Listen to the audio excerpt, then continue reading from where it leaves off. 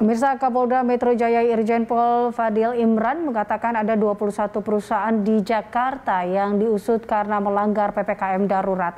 Fadil menyebut perkara 21 perusahaan itu kini sudah masuk tahap penyidikan dan tinggal menunggu waktu penetapan para tersangka.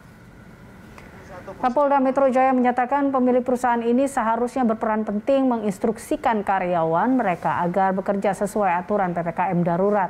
Di antaranya bekerja dari rumah untuk pekerjaan sektor non-esensial dan bekerja dengan mentaati protokol bagi pekerja sektor esensial dan kritikal. Hal ini ditujukan untuk menekan angka mobilitas masyarakat dalam memutus mata rantai penularan virus. Namun sangat disayangkan para pemilik perusahaan ini justru memilih tetap mempekerjakan karyawan di kantor dengan mengabaikan aturan PPKM darurat.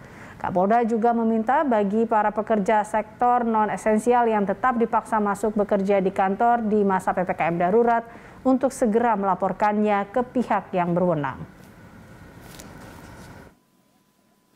21 perusahaan yang sudah kita naik sidik. Nanti kita cari siapa tersangkanya di antara juragan-juragan ini. Ini saya sampaikan hotline ya.